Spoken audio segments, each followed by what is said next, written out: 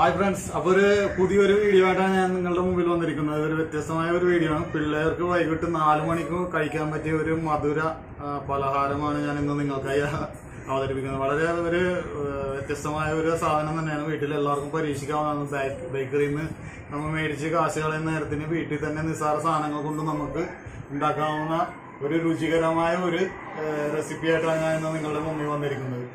അതിന്റെ ആവശ്യത്തിനുള്ള ഇൻഗ്രീഡിയന്റ് ഞാൻ ഓരോന്നായിട്ട് നിങ്ങൾക്ക് കാണിച്ചു തരാം.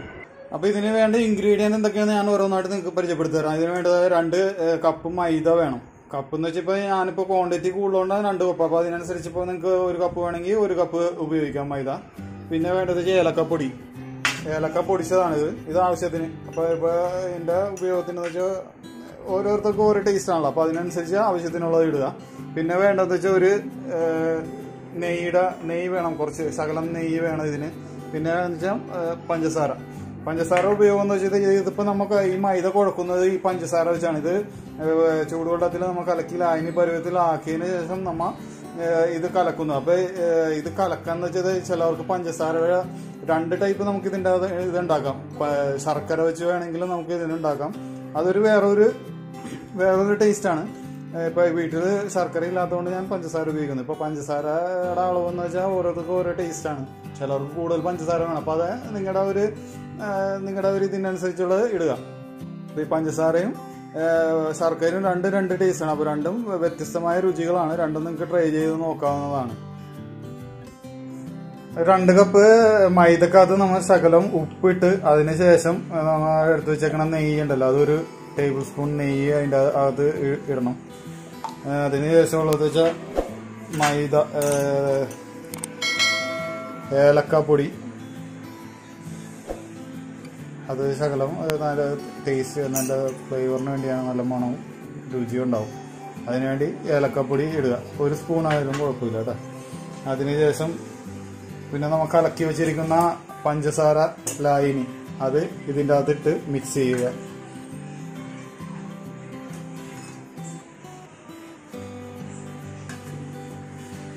മിക്സ് ചെയ്ത് നല്ലപോലെ കുഴച്ച് അത് നമുക്ക് പൊറോട്ടയും ചപ്പാത്തിക്കും പത്തിരിക്കൊക്കെ അടിക്കുന്ന പോലെ നല്ല നൈസായിട്ട് കുഴച്ചെടുക്കണം അത്.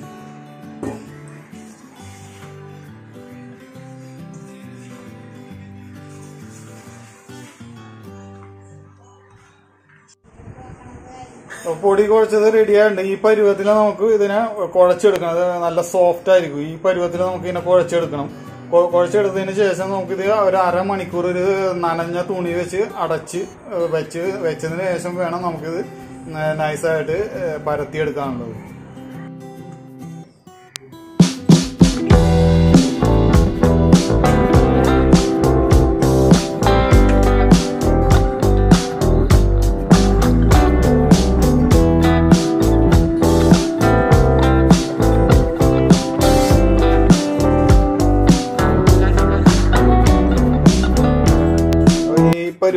നമുക്കിത് പരത്തിയെടുക്കേണ്ടത്. അധികം നൈസ് ആകേണ്ട ഒരു മീഡിയം പരുവത്തിൽ ചപ്പാത്തിക്കൊക്കെ നമ്മൾ പരത്തുന്ന ആ രീതിയിൽ മാത്രം ഇത് പരത്തിയെടുത്താൽ മതി. ഈ ഇനി ഇത് ചെറിയ ചെറിയ കഷ്ണങ്ങൾ ഡയമണ്ട് ഷേപ്പിൽ കട്ട് ചെയ്ത് എടുത്തതിന് ശേഷമാണ് ബാക്കി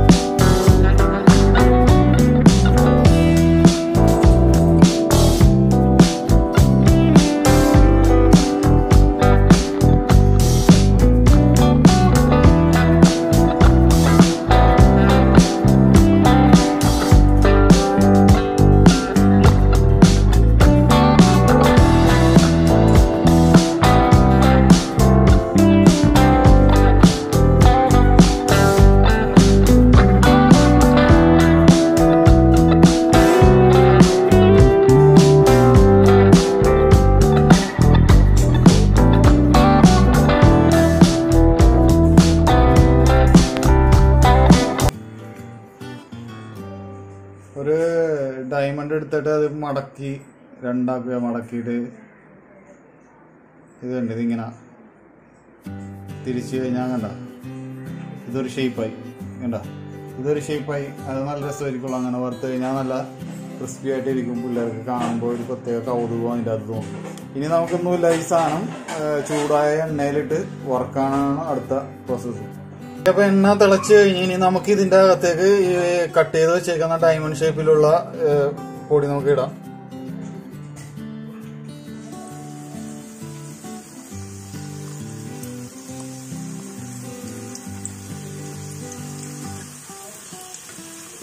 നല്ല തിളച്ച എണ്ണയിലാണ് അധികം ടൈമൊന്നും ഇടേണ്ടി വരില്ല പെട്ടെന്ന് അറിയില്ല. മൈദക്ക് അധികം ടൈമൊന്നും വേണ്ട. ഇത് അധികം ചെറിയ നേരിയ കണത്തിലാണ് നമ്മൾ ഉണ്ടാക്കിയിരിക്കുന്നത് പെട്ടെന്ന് തന്നെ മുരിഞ്ഞ് വരും. ഒരു ഗോൾഡൻ ഷേപ്പ് ആകുമ്പോൾ കോരി മുകളിലേക്ക് എടുക്കുക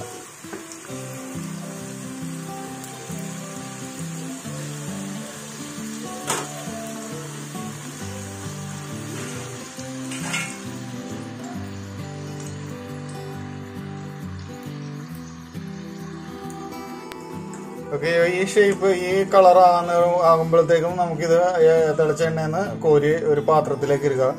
ഒരു ടിഷ്യൂ ഉണ്ടെങ്കിൽ ആ ടിഷ്യൂ ഇട്ടതിന് ശേഷം അതിന്റെ മുകളിൽ ഇത് ഇട്ട് കഴിഞ്ഞാൽ എണ്ണ കംപ്ലീറ്റ് സാധനം വലിച്ചെടുത്ത് പോകും. അപ്പോൾ നമ്മുടെ നേരത്തെ വറുത്ത് വെച്ചിരുന്ന ഡയമണ്ട് ഷേപ്പിൽ നമ്മുടെ സ്വീറ്റ്സ് റെഡി ആയിട്ടുണ്ട്. ഇതിപ്പോ ഒരു മീഡിയം മധുരമാണ് ഇതിന് ഉള്ളത്. ഇതിപ്പോ കഴിക്കാൻ നല്ല ടേസ്റ്റ് ആണ്. പക്ഷെ ചില കുട്ടികൾക്ക് ഈ മധുരം പോരാണ്ട് വരും. നമ്മൾ വലിയവർക്ക് കഴിക്കാൻ ഈ മധുരം ധാരാളമാണ്. അപ്പൊ കുട്ടികൾക്ക് ഇത് ഈ മധുരം അവർ കുറച്ചും കൂടി മധുരം കൂടുതൽ വേണ്ടത്. ഈ പറഞ്ഞ ലായനി നമ്മൾ നേരത്തെ കലക്കി വെച്ചിട്ട് പഞ്ചസാര ഉണ്ട്. അത് ഒരു കുറുക്ക് പരുവത്തിൽ കൂടി ആക്കുക. ആക്കിയതിനു ശേഷം ഈ ഉള്ളത് അതിന്റെ അകത്തേക്കിട്ട് ഇതെല്ലാം കൂടി മിക്സ് ചെയ്തെടുത്തു കഴിഞ്ഞാൽ മിക്സ് ചെയ്തെടുക്കണം.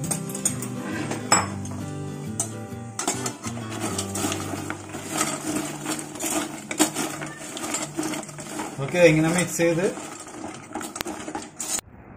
അപ്പൊ നമ്മുടെ ഡയമണ്ട് ഷേപ്പില നാലുമണി പലഹാരം റെഡി ആയിരുന്നത് കണ്ടില്ലേ? എന്ത് ഭംഗിയാ നോക്കി കണ്ട?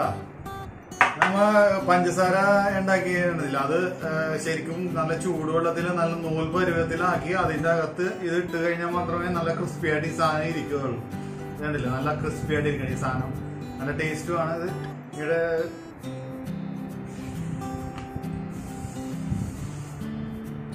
നല്ല സൂപ്പർ മധുരമാണ്. കുട്ടികൾക്കും വലിയവർക്കും ഒരേപോലെ കഴിക്കാൻ പറ്റുന്ന ഒരു നാലു മണി പലഹാരമാണ്. ഇത് ആവശ്യത്തിനെടുത്ത് കഴിച്ചതിന് ശേഷം ഒരു ടിന്നിന്റെ അകത്ത് എത്ര ദിവസം വേണമെങ്കിൽ നമുക്കിത് സൂക്ഷിച്ചു വെക്കാം. ഒരിക്കലും കേടാവില്ല. ഇത്രക്കും നല്ല സാധനമാണ്. നാലു മണിക്ക് കഴിക്കാൻ പറ്റിയ വളരെ മനോഹരമായ ഒരു പലഹാരമാണ്. ഞാൻ കുട്ടികൾക്ക് കൊടുക്കും.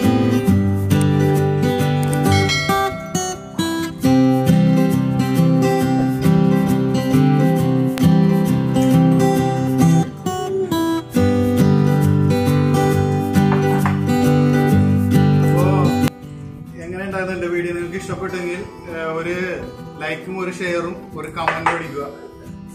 കഴിഞ്ഞ ദിവസത്തെ വീഡിയോകളൊക്കെ മിക്കവരും കണ്ടായിരുന്നു. എനിക്ക് വ്യൂവേഴ്സ് കൂടിയായിരുന്നു. അപ്പൊ എല്ലാവരും ഇനി അതേപോലെ തന്നെ എന്നെ സപ്പോർട്ട് ചെയ്ത് സബ്സ്ക്രൈബും ചെയ്ത്. മറ്റൊരു പുതിയ വീഡിയോ ആയിട്ട് ഞാൻ അടുത്ത ദിവസം നിങ്ങളുടെ മുമ്പിൽ വരും. ഇതിനും വ്യത്യസ്തമായിട്ടുള്ള രണ്ടു മൂന്ന് പുതിയ റെസിപ്പികൾ ഞാൻ കണ്ടുവച്ചിട്ടുണ്ട്. അതുകൊണ്ട് അടുത്ത ദിവസം ഞാൻ തന്നെ നിങ്ങളുടെ മുമ്പിൽ വരും. Okay bye